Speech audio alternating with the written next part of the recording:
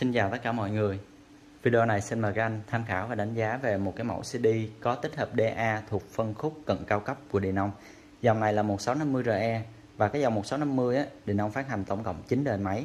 Con này là đời thứ 9, đời cuối cùng và là cao cấp nhất luôn Cho nên nó sẽ được tích hợp khá là nhiều cái tính năng và công nghệ xử lý tín hiệu ở trên này Cho nên là chất lượng âm thanh của nó khá là vượt trội so với những cái dòng trước. Rồi chúng ta nói về cái tính năng của nó trước ha. Đầu tiên thì 1650RE nó là một cái mẫu CD cho nên là ở trên này nó sẽ hỗ trợ cho các anh một cái ổ CD tích hợp chuẩn đĩa SA CD luôn, có nghĩa là Super Audio CD á, để các anh có thể khai thác nhạc chất lượng cao từ đây. Rồi cái thứ hai á, là nó tích hợp cho các anh một cái ổ USB thì các anh lưu ý là ổ USB này nó sẽ hỗ trợ các anh kết nối nhạc số qua các cái USB hoặc là các cái ổ cứng, và nó chỉ hỗ trợ nhạc MP3 thôi nha các anh có một cái lưu ý là rất là nhiều kênh nói là nhạc chất lượng cao nhưng thực sự á, là cái cổng USB này trên bất kỳ dòng máy nào nó cũng chỉ hỗ trợ nhạc MP3 thôi. Có nghĩa là tối đa là 128 KB trở xuống không cao hơn được nha. Đó không cao hơn được nên các anh lưu ý chỗ này. Đấy thành ra là à, nhiều chỗ người ta đăng người ta nói là USB nhạc chất lượng cao thì các anh nên cân nhắc khi mua rồi ngoài cái cổng USB và ổ CD á, thì nó còn hỗ trợ cho các anh một cái bộ giải mã để các anh có thể khai thác nhạc số trực tiếp từ cổng à, uh, USB PC này. Thì cái cổng USB PC này là cổng kết nối giữa máy tính vào cái thiết bị giải mã của chúng ta. Tiếp theo là cổng đồng trục. Cổng này thì rất ít khi xài cuối cùng là một cái cổng optical. Thì cái cổng này là hỗ trợ kết nối trực tiếp từ smart TV xuống các cái đầu giải mã cái thiết bị giải mã. Đó thì nó hầu như là có đầy đủ các cái tính năng khai thác nhạc nhạc chất lượng cao rồi đó. Còn à, các anh để ý là những cái dòng thiết bị cao cấp hầu như là nó không hỗ trợ cái chuẩn à, à, cái chuẩn Bluetooth nha. Tại vì cái tín hiệu phát nhạc từ Bluetooth đó, thì nó rất là kém so với các cái thiết bị kết nối có dây. Cho nên là đại đa phần những cái thiết bị mà nó chú trọng về chất lượng âm thanh á, thì nó sẽ không tích hợp tính năng này.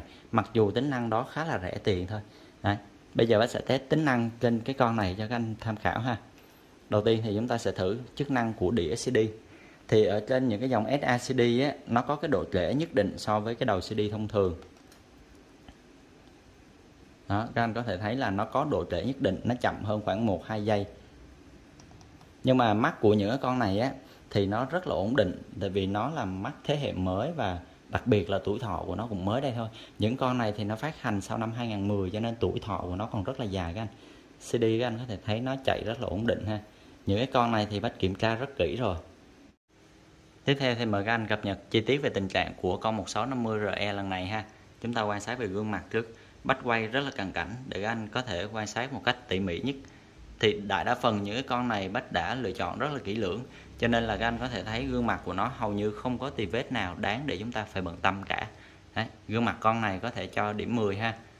Những cái sản phẩm đã qua sử dụng giữ được tình trạng như thế này thì rất là tuyệt vời.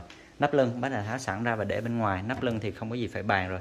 Những cái nắp lưng của các cái dòng máy đời cao nó rất là dày cho nên là cái tình trạng bị võng cấn mớp nó ít lắm.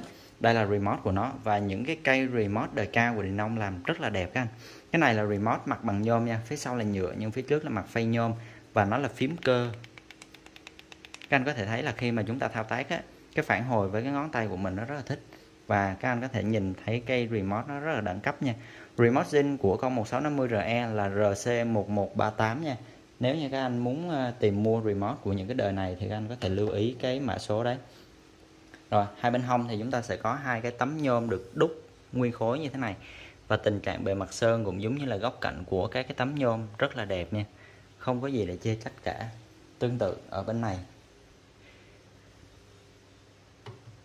Rất là hoàn hảo.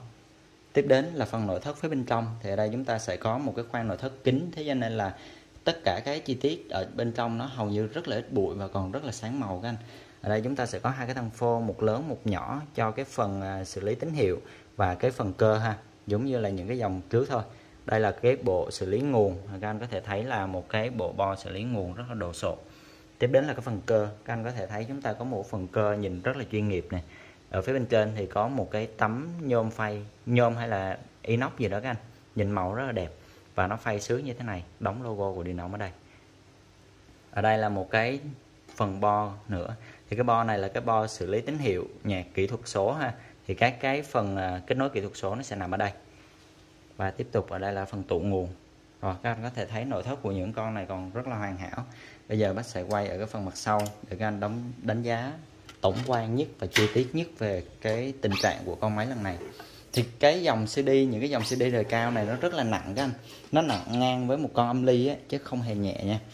Rồi ở đây là phần mặt sau thì chúng ta sẽ có một vài cái tem này rồi, con này thì được sản xuất tại Nhật nha. Đương nhiên rồi, những cái dòng máy đời cao thì nó sản xuất nội địa. Con này thì phát hành năm 2013 số series của nó là 1527 nè.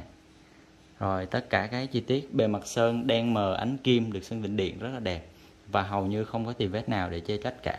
Ở đây là cái cái cổng thông thường mà chúng ta thường thấy. Đây là cổng analog out để kết nối với thiết bị như là âm ly và main công suất.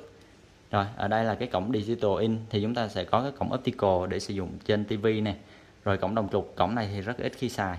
Ở đây là cổng USB PC để các anh kết nối với máy tính.